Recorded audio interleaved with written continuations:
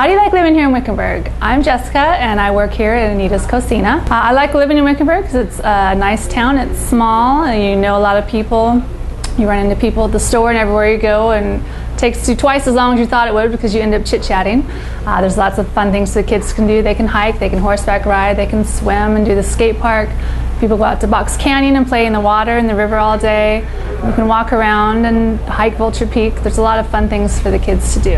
And of course, Wickenburg has some great restaurants, one of which is Anita's, which I happen to work at. It's got great food, it has great people. We are a family here, and it's a wonderful place to work. It's a wonderful place to eat, and we hope to see our customers back over and over again, and we hope to see you.